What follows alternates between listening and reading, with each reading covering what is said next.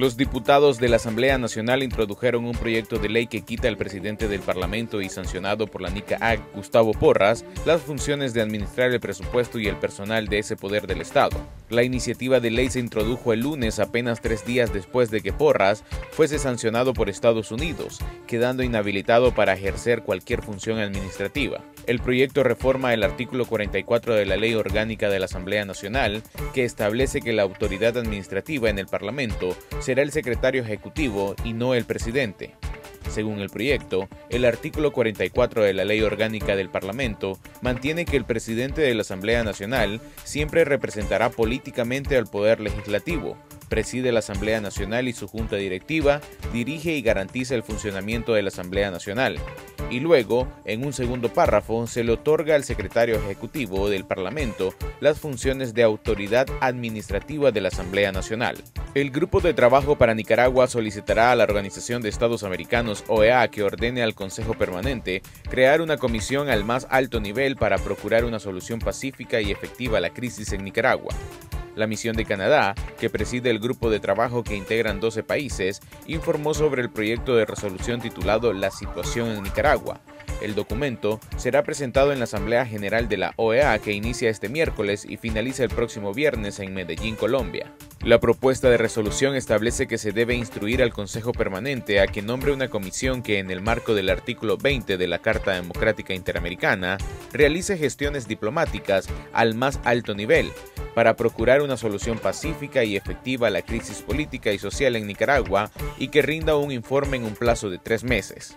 El régimen de Daniel Ortega y Rosario Murillo se niega a devolver los bienes que fueron ocupados por la Policía Nacional y simpatizantes del Frente Sandinista a los presos políticos excarcelados, organizaciones no gubernamentales, medios de comunicación y personas autoconvocadas que han respaldado las protestas en contra de la dictadura, yendo en contra de la misma ley de amnistía, aprobada por los diputados orteguistas en la Asamblea Nacional. El monto global de los bienes confiscados no ha sido cuantificado y tampoco existe un mecanismo establecido para la devolución de estos. En el caso particular de los reos de conciencia, las autoridades del sistema penitenciario nacional debieron regresarles sus pertenencias en el momento en que fueron excarcelados. Sin embargo, los funcionarios se quedaron hasta con los documentos de identidad de los manifestantes criminalizados. El Banco Central de Nicaragua anunció la puesta en circulación de nuevos billetes de 500 y 1000 córdobas a partir del 8 de julio de este año, que vendrán reforzados y más seguros para evitar su falsificación. Los billetes de 500 y 1000 córdobas actualmente en circulación conservan su valor liberatorio, continuarán circulando y serán sustituidos conforme se vayan deteriorando, informó el máximo emisor bancario. Los nuevos billetes están impresos en su trato de polímero, lo que permite que sean más durables y con menos probabilidad de falsificación. Los billetes conservarán los mismos colores y diseños actuales y las firmas del presidente del Banco Central y el titular del Ministerio de Hacienda y Crédito Público.